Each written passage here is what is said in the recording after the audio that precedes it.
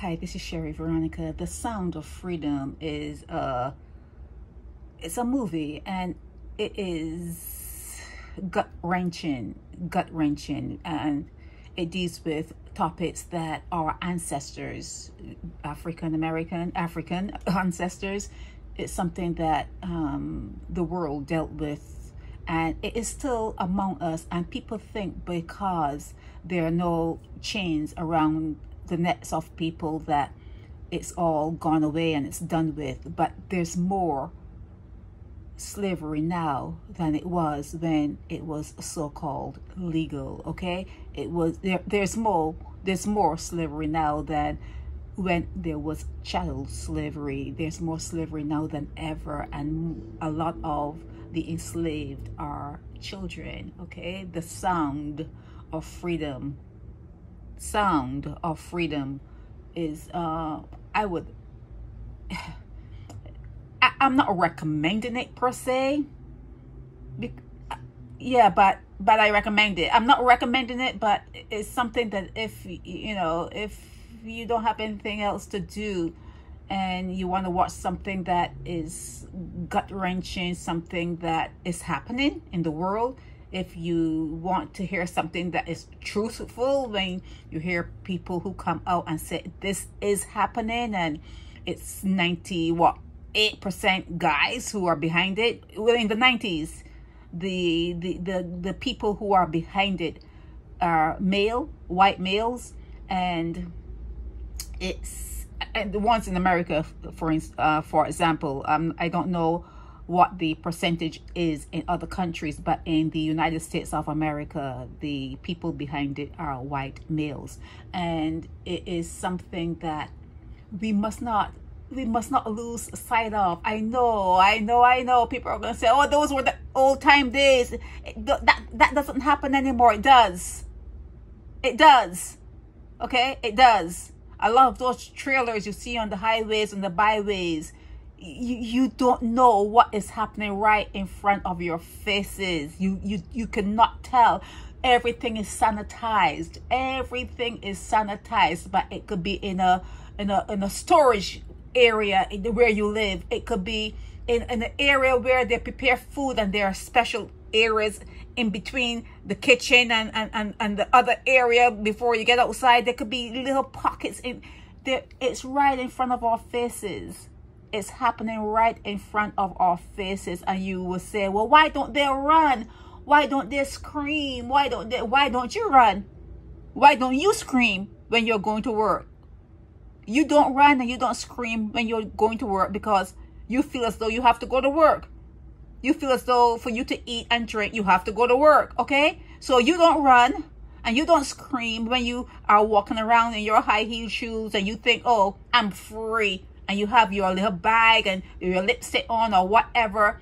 You're thinking you're free and you're not running and screaming. And the, a lot of the people who are in this situation that would be depicted in Sound of Freedom, they don't run and scream either because they don't think there's a way out for them.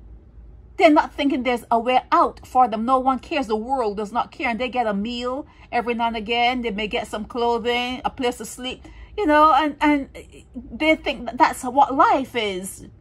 They think that's what life is, just how you think your life is what life is and should be. Okay? So I don't know what else to say. Nothing is as it seems because as neatly packaged as you think your life is, you could be enslaved too. I could be enslaved too. We all could be because I feel as I feel that whatever I see out there, whatever I'm noticing, that's me. It's happening to me. But people have a way of separating themselves from what's happening in the world. People do that very well. Very well. You separate yourself from what's happening in the world you say, well, that's them. That's not me. It's them. But your point, when you said them, you're talking about yourself. Even your good book will say, yes, I'm there. Love your neighbor because your neighbor is yourself. Love your neighbor. Do unto others because whatever you do to them, is you. You're doing it to yourself. You're doing it for yourself. Okay? So when you see these things happening, you're thinking, well, if not for God, that would that could be me. It is you. It is you. Okay? You're experiencing other aspects of you throughout everything you see, everything you touch, everything you smell. It's just you. It's just you. It's just one thing. One thing. And until you resonate with that, until you understand that whatever you are seeing out there is happening in here. Whatever you are seeing out there is happening inside your head. Whatever you are seeing, you are making up. It's, it's, it's your reality.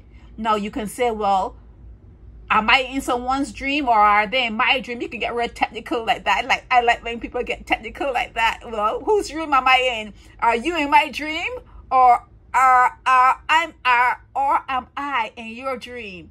You know, it doesn't matter.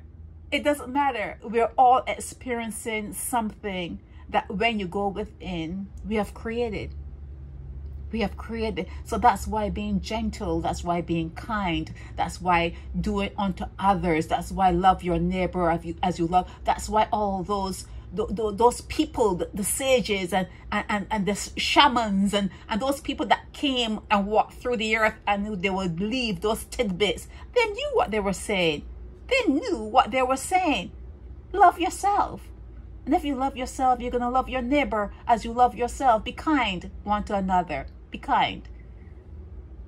Sound of Freedom. Sound of Freedom. Yeah, I think you should watch it. I think you should watch it because a lot of you think that um, slavery has ended. And a lot of you think that. A lot of you think that. Sound of Freedom. Sheri Veronica.